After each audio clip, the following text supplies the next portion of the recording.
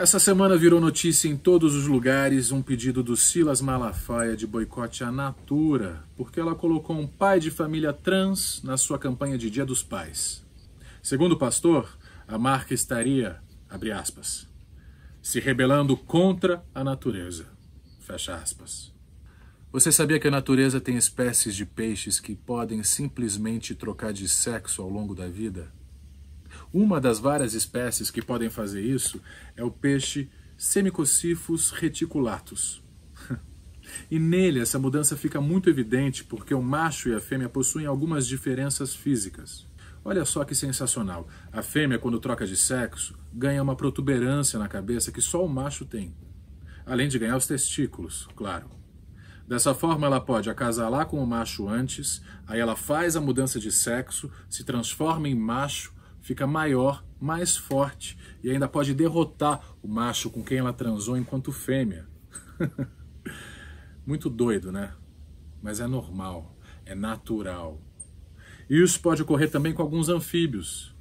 Já foram publicados estudos mostrando que várias espécies podem e conseguem fazer mudança de sexo, como por exemplo a rã verde, Rana clamitans.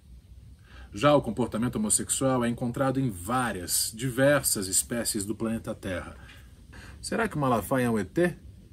Ou qual será a sua desculpa para falar que isso não é natural? Há diversos casos em diversos animais e ocorrem por vários motivos, inclusive por prazer, como no caso dos chimpanzés. Na descrição desse vídeo tem algumas listas que mostram algumas das espécies onde já foram documentados o comportamento homossexual.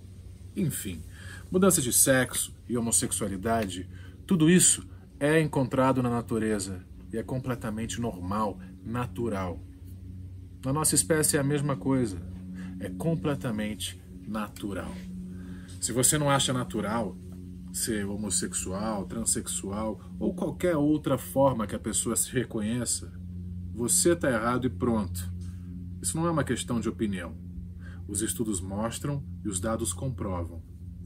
Você contra não muda os fatos. Não tente justificar a sua ignorância ou mau caratismo em cima da natureza. Ela não funciona como você fala ou gostaria que funcionasse. A natureza é diversidade, a natureza é vida e nós somos a natureza. Se você quer ser transfóbico, homofóbico, assuma que você é. Não use a natureza para justificar.